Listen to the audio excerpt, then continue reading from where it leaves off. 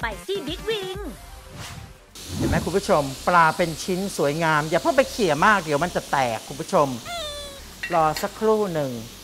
โอ้ยฝั่งอนนนก็คงจะแค่ปอกมะละกอละลายเยลลี่ตามที่ระบุข้างกล่อง เทลงไป แล้วก็แช่เย็น แล้วก็ไปเดินเล่นสักสามสี่ชั่วโมง แล้วก็มาหั่นกิน ยากมากยากมาก โอ้ยช่วยทักษะเหลือเกินโลก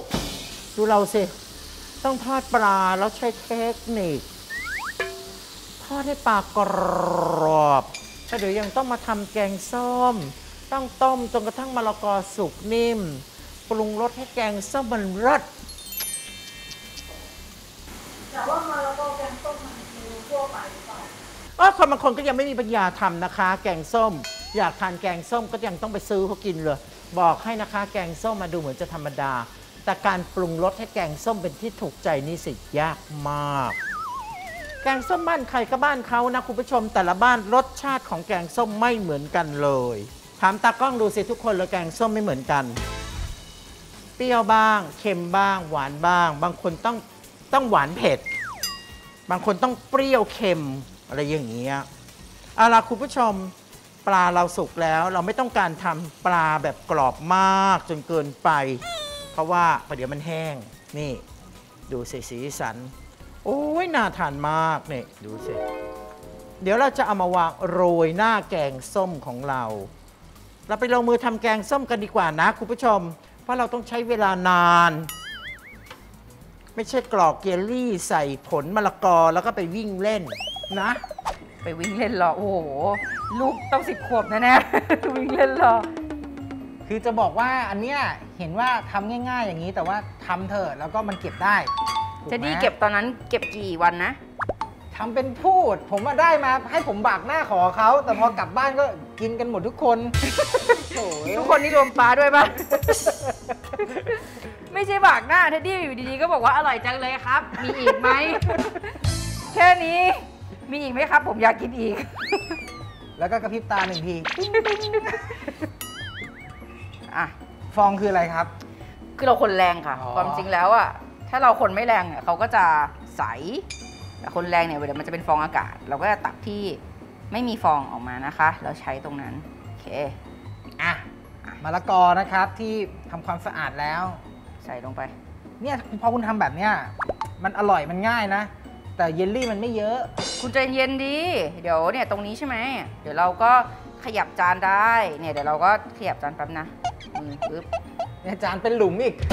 เออ เดี๋ยวตรงนึงเจลลี่เยอะเจลลี่น้อยนะ ขอโทษขอโทษขอโทษจริงๆที่เตรียมการมาไม่ดีตื่นเต้น อันนี้เป็นงานก๊อปเกรดเอ คือพูดเลยว่าเป็นงานก๊อปที่พวกเราภูมิใจมาก หลังจากก๊อปเสร็จแล้วเอ้ยอร่อย ยิ่งกินยิ่งคิดถึงเลย ผมว่าเนี่ยมันเป็นอาหารเขาเรียกว่าเป็นของหวานตบท้ายของร้านอาหารจีนในยุค 90น่ะที่แบบฮิตมากๆ คือตอนนั้นนะทุกร้านต้องมีนะ แต่อร่อยอร่อยเนี่ยมีไม่เยอะเลย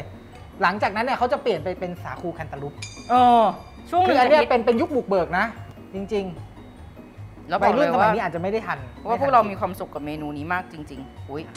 นั่นไงเห็นไหมคุณระนาบคุณไม่ได้อะเออขอโทษนะในนี่เราพยายามจะงกด้วยการใส่เยลลี่ให้คุณเยอะไงเท็ดดี้ เราแบบเราใจเรามาแล้วอะเราต้องการช่วยคุณจริง ๆ ว่าเออ เราก๊อปปี้เขาอะอะทิ้งไว้นานไหม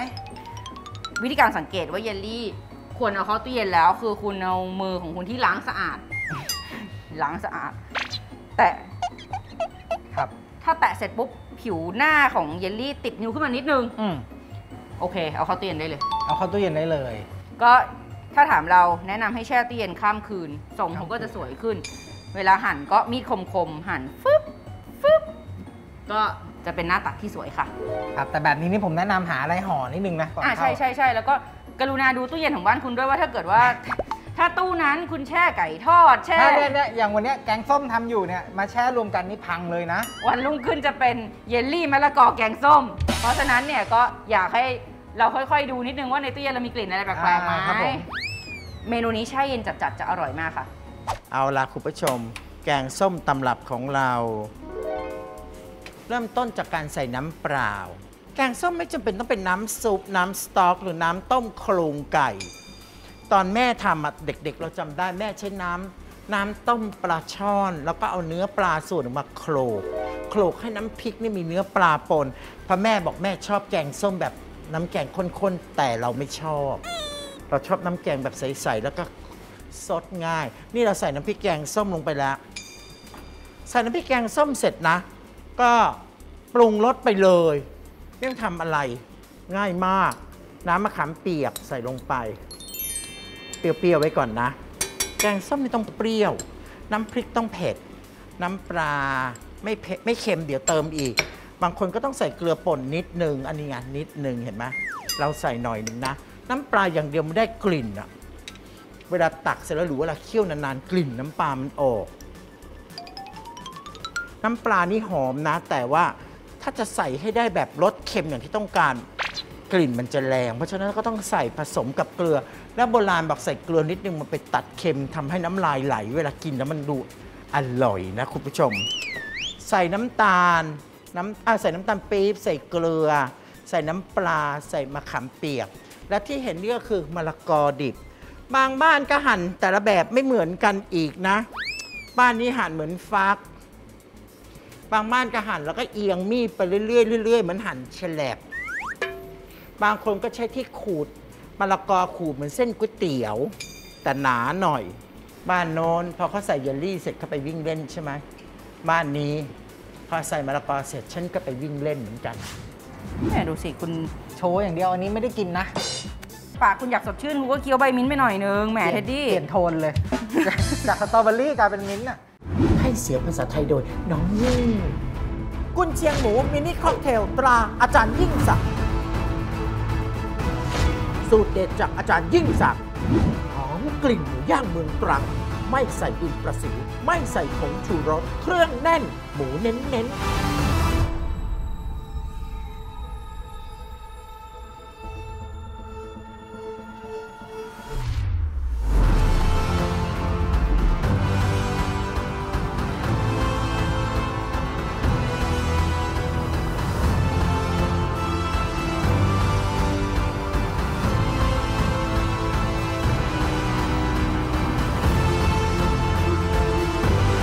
น่ากินใช่ไหมล่ะ 1 แพ็คราคา